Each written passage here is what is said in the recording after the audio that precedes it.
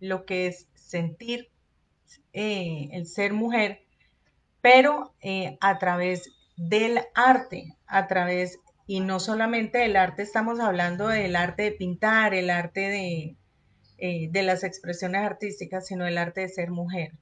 Bueno, la charla de hoy se llama Pintando y Reconociendo el Amor. Y yo voy a empezar pues hablando, remontándonos a la, a la historia de la antigüedad. Y es que eh, antiguamente, a lo largo de la historia, pues la mujer ha estado en un plano muy paralelo a la realidad creada por, por todos los hombres y es en la que la mujer no tenía cabida eh, como igual, pero sí eh, como ser inferior, se sentía inferior hace unos años. Pero no estamos solo hablando de la prehistoria, estamos hablando de la historia universal y de los intentos de la igualdad a raíz de los, del final del siglo 19 y cómo vamos a mirar cómo es en el siglo XXI, cómo influye en las emociones, cómo influye en, en, en nuestra autoestima, cómo influye la forma en que nos tratamos nosotros y la forma en cómo tratamos a nuestras eh, mujeres. Tenemos que pensar para iniciar que cuando nosotros nos estamos tratando mal o nos dirigimos eh, con palabras despectivas, estamos hablando de nuestra propia mamá, porque nosotras somos, o todos, nosotras y nosotros somos hijos de mujeres. Somos hijos eh, de por naturaleza, porque así nos creó Dios, porque nos dio el poder de engendrar hijos, hombres y mujeres, y entonces cada vez que estamos hablando mal de nosotros, estamos hablando mal de nuestra mamá. Entonces, a partir de ahí, el mundo comienza a experimentar que la mujer se revela y cientos, miles de años se están rompiendo esos estereotipos que nos tenían ancladas en un mínimo espacio, como de, digamos, la mujer estaba guardada, la mujer estaba no para mostrarse porque solo le permitía al hombre. Pero el tiempo ha estado cambiando y nos hemos revelado en el buen sentido de la palabra nos hemos ido adaptando a través de la empatía, de sostener la cultura en todas las manifestaciones y ahora más que nunca cuando debemos mantener vivo aquello que nos diferencia es cuando más nos debemos apoyar. Y lamentablemente en nuestra cultura eh, entre las mujeres es cuando más eh, nos damos duro, menos nos apoyamos, eh, sentimos envidia la una por la otra, no permitimos que el otro crezca la otra crezca más que yo, entonces es difícil, ¿no? Bueno, entonces, ¿por qué sentir esa envidia la una por la otra? ¿Por qué sentimos envidia de nuestras hermanas, envidia de nuestra mamá, envidia de nuestros compañeros, envidia? Eso no puede ser. Existe alguna palabra que se llama sororidad y es el apoyo la una por la otra. Somos hijas de mujeres, por lo tanto, sentimos todas las mismas emociones porque nos hicieron con esa misma naturaleza. ¿Cierto? Entonces, vamos a ver a través de esta presentación cómo el arte puede ser un vehículo de evolución social en continuo movimiento, porque la mirada hacia el arte ha de ser holística, ha de ser eh, aplicando la sororidad. Aquí no estamos en competencia, aquí estamos para luchar por la evolución mía y por ende por la evolución del otro, en este caso el ser mujer. El ser mujer es un arte, por eso no estamos, voy a hacer énfasis que no vamos a hablar solo a través de la expresión artística de la pintura, sino el ser mujer. El ser mujer es un arte y no es fácil, porque, eh, bueno, desde el principio nos dijeron a través de los escritos que eh, el arte no es, eh, el arte de ser mujer no es, no iba a ser sencillo el camino. Bien, Veamos esta expresión. Las personas somos seres emocionales que nos dejamos llevar en multitud de ocasiones por aquello que sentimos. ¿Por qué decimos eso? Porque en este ir y venir de día a día vamos adquiriendo nosotros malos hábitos sin darnos cuenta y repercuten de forma negativa en nuestras vidas. Las personas, todas, hombres y mujeres, somos seres emocionales que nos dejamos llevar por todo nuestro entorno, por todo lo que vivimos en nuestra crianza, nuestra cultura y por ende nos afecta a título personal y muchas veces nos tomamos las situaciones eh, de forma personal cuando a veces no, no tiene que ver. Las personas somos seres emocionales que nos dejamos llevar muchas veces por aquello que sentimos. Le damos trascendencia a todas esas emociones y entonces esas numerosas ocasiones y las situaciones que vivimos nos impiden expresarnos y las emociones quedan ocultas. ¿Por qué será que quedan ocultas? Y aquí yo empiezo esta diapositiva con una expresión oculta. ¿Cuántos tenemos expresiones ocultas? ¿A cuántos nos cuesta trabajo expresar? Por el que dirán, porque es que yo no sé qué vaya a pensar la otra persona, yo no pinto porque es que qué van a decir de mi obra. Las situaciones que vivimos nos impiden expresarnos y las emociones siempre van a quedar ocultas. Al quedar ocultas, eso redunda en enfermedades físicas. Pero resulta que muchas veces cuando no tenemos o no sabemos cómo expresarnos, no sabemos cómo hablar con la otra persona, no sabemos qué palabras utilizar, pues qué bonito hacer una carta, cantar una canción. A veces utilizamos canciones para dedicarle a alguien y decirle algo que queremos decir a alguien, ¿no? Utilizamos una canción o realizamos una obra de arte para expresar lo que no se puede decir con palabras.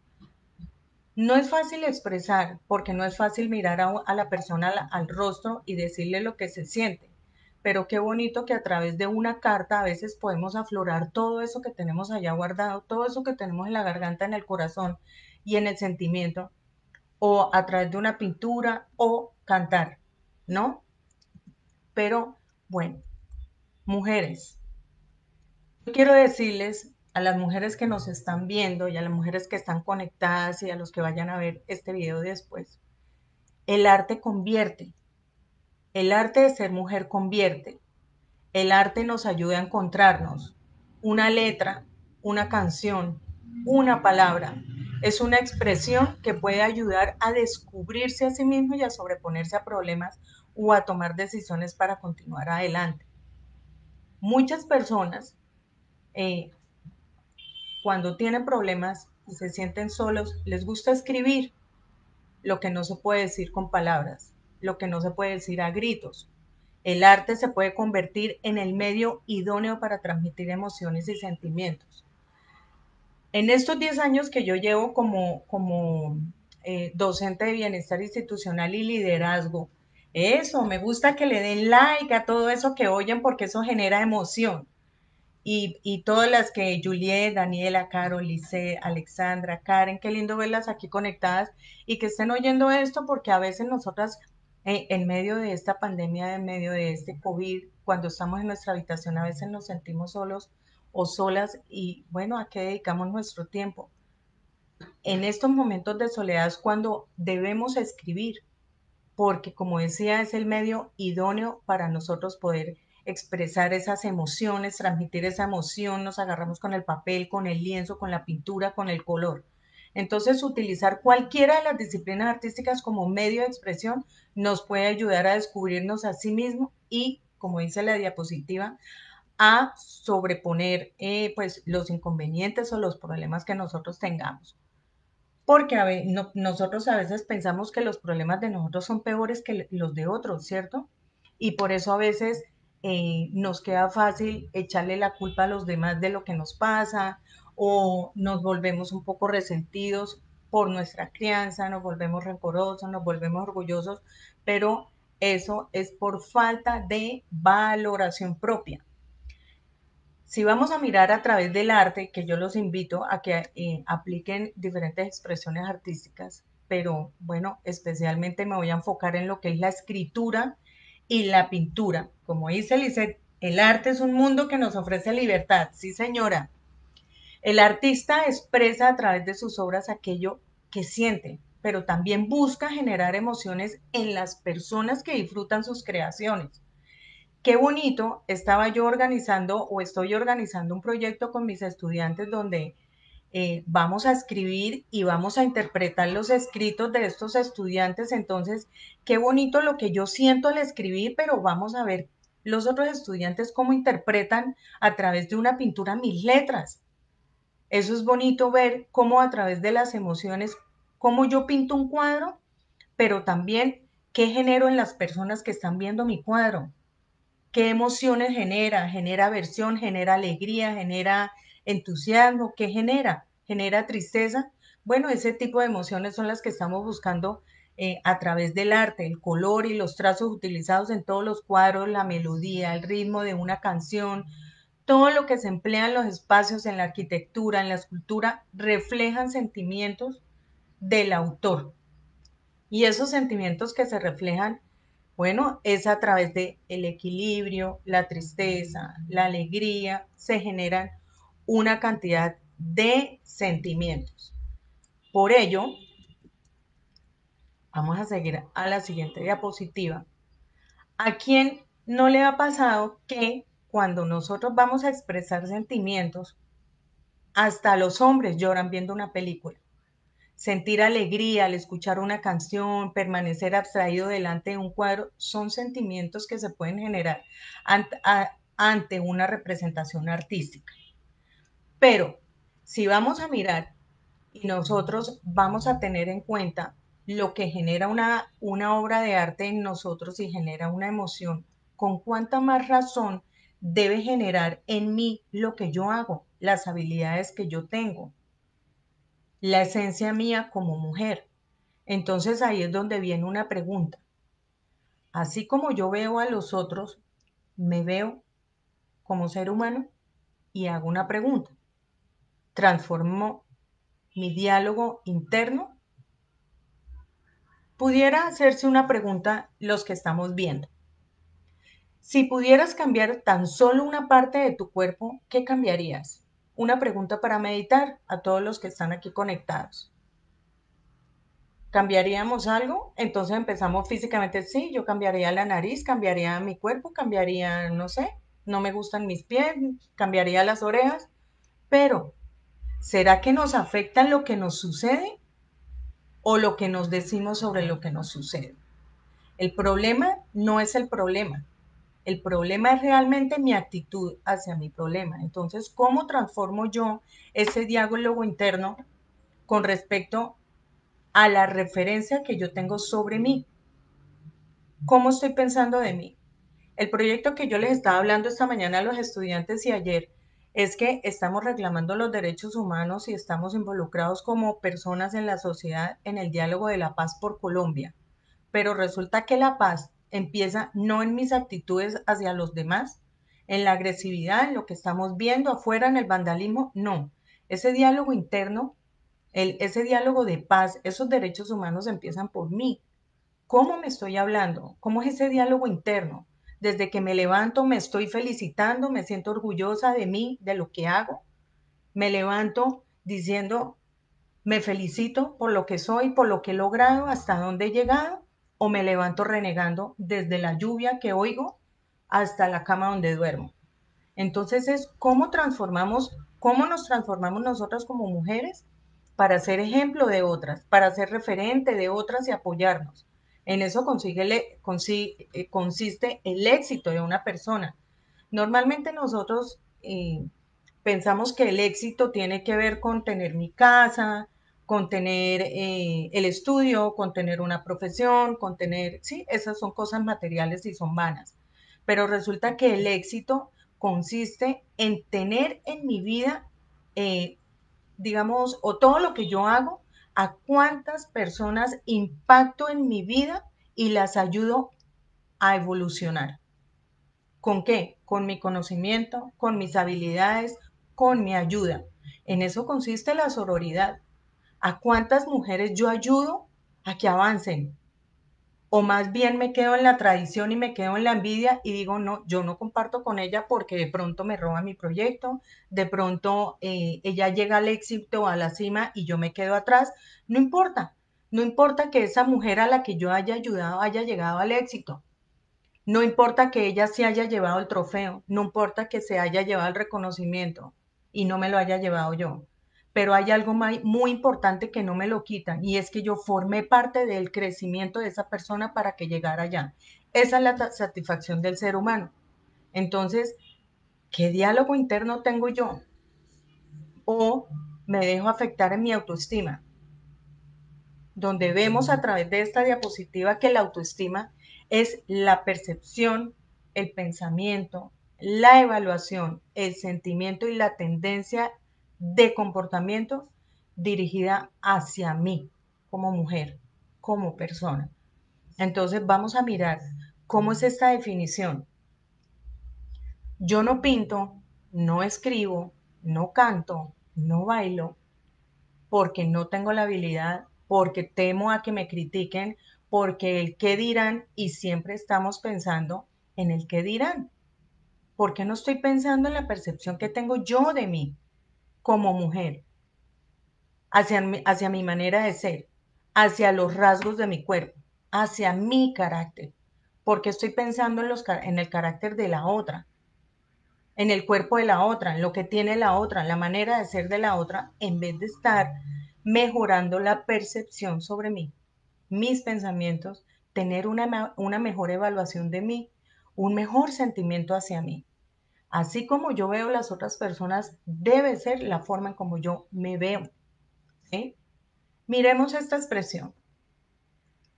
Y esto es fundamental. El arte de ser mujer tiene que ver con la falsa creencia de la media naranja o del alma gemela.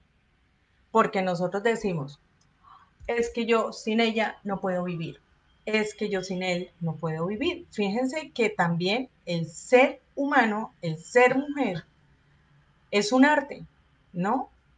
Hay actividades, eh, por ejemplo, en la actualidad la unión del arte y la emoción han alcanzado una gran relevancia en la educación. Por eso es que en las instituciones públicas y privadas está incluido dentro del contenido programático las artes, porque las temáticas y los programas relacionados con el arte permiten que se desarrollen actividades con la identificación de sentimientos ajenos a través de la visualización, reconocidas por las obras de arte, por las creaciones artísticas, eh, porque se permite em, expresar o autovalorarse eh, a través de todo lo que se hace a través de estas expresiones artísticas y dentro de los beneficios se destaca la capacidad de identificar y comunicar sus emociones y mejorar en las habilidades sociales. Por eso yo hoy puedo decirlo como docente, que yo me siento muy orgullosa de formar parte de un promedio de 1.500 estudiantes que han pasado durante 10 años por eh, la, eh, digamos, la formación emocional sí artística como parte de la academia, pero ser parte de la formación emocional y el crecimiento sentimental de cada uno de estos jóvenes porque he podido ser parte de la evolución de cada uno de ellos. Dice Juliet, somos obras de arte y el sentimiento más grande que esa amar comienza con el amor hacia uno mismo, lo que pensamos y cómo nos tratamos a nosotras mismas. Exacto, Juliet. Y cuando vamos a interpretar una obra de arte o vamos a escribir, lo primero que decimos es, profe, ¿qué tal que me quede feo? Es que yo no sé, ahí de una vez empieza la crítica. Entonces, hay que tomar riesgos. Hay que valorar nuestras, habilidades, nuestro talento. Hay algo que nosotros debemos levantarnos todos los días y pensar. Primero, que no somos la mitad de una naranja. Nosotros nacimos solos y debemos valorarnos y querernos como personas individuales. Somos diferentes el uno al otro. Eso es un arte. No hay que buscar la aprobación de los demás. Al buscar la aprobación de los demás, yo impido escribir, porque mi escrito va a ser comparado. ¿Qué tal que digan que no, que tan feo, que no sé qué, que está mal escrito? Entonces yo no pinto porque es que qué tal que digan que la obra tan fea, que él no sabe pintar, que ella no sabe pintar, que mis compañeros pintan mejor que yo. No, nosotros no debemos buscar la aprobación de nadie porque yo soy único como ser individual. Nosotros siempre estamos mirando que hay personas menos que uno, hay personas también más que, que uno, tienen mejores habilidades, capacidades, etcétera, pero no hay una persona igual a mí. Ni siquiera los gemelos, ni siquiera entre hermanos, nadie es igual a mí. Yo tengo, yo soy auténtico y autónomo en mis habilidades y debemos trabajar por eso, como lo dice Elise, trabajar en nosotras para construir y cambiar la manera de ver y enfrentar la vida, siendo una unidad entre todas las mujeres.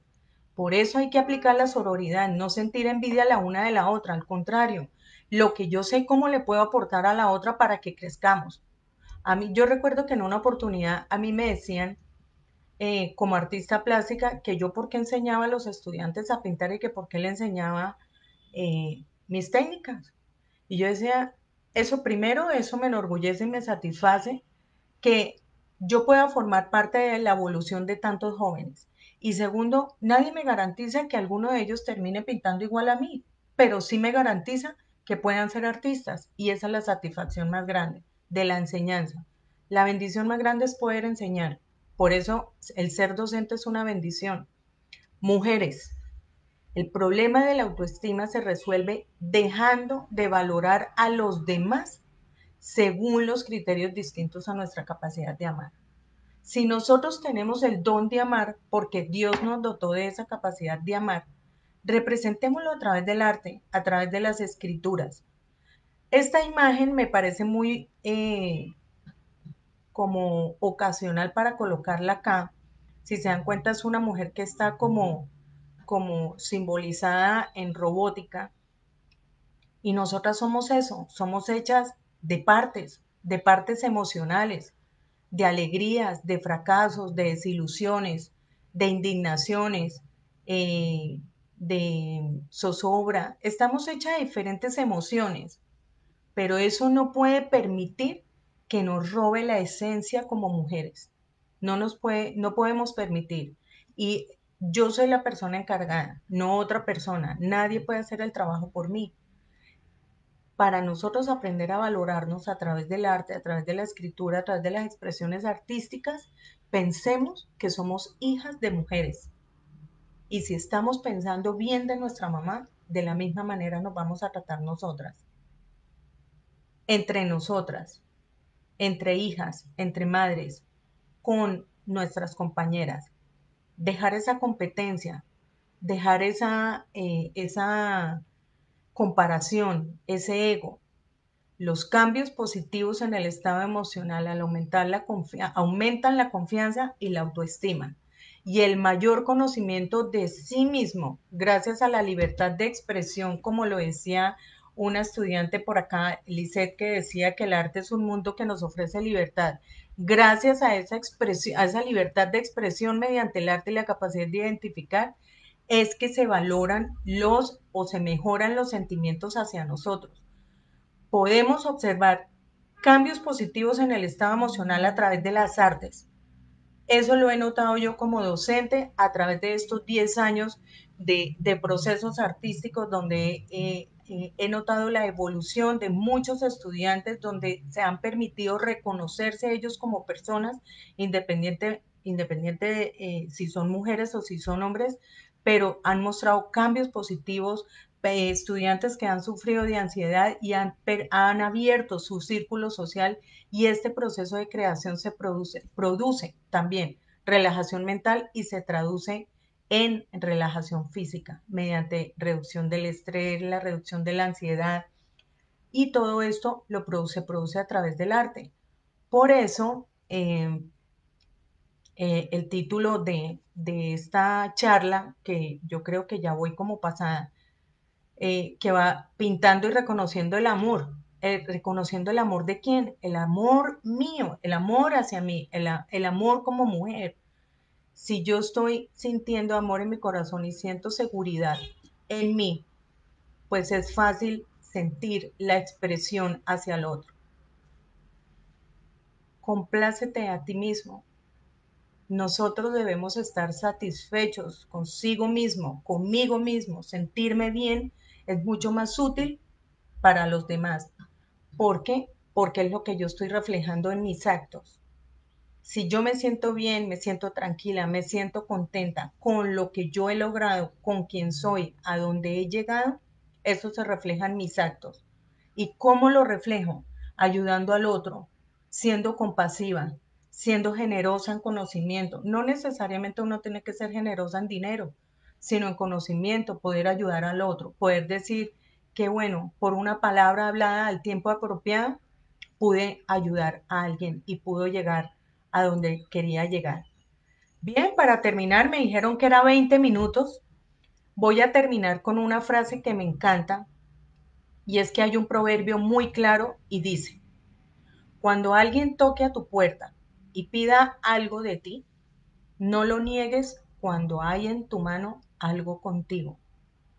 Esto incluye compartir el talento y el conocimiento, generar en ustedes pasión por las cosas, pero sobre todo compromiso y gratitud por la vida misma y de esta manera eh, ser eh, extensivos a todo el que nos rodea.